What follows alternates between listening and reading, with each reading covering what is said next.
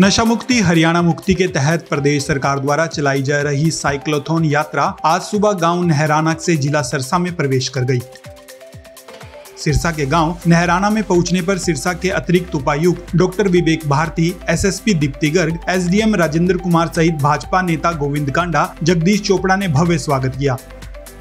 इस यात्रा में सैकड़ों पुलिस जवान साइकिल चलाकर नशा मुक्ति का संदेश दे रहे हैं।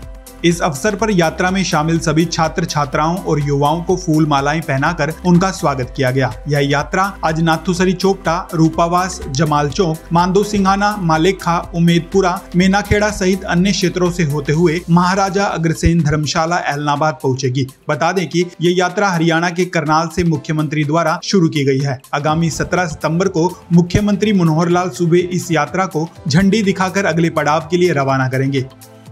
इस यात्रा का मुख्य मकसद प्रदेश में बढ़ रहे नशों को खत्म करना और युवाओं का सही मार्गदर्शन करना है।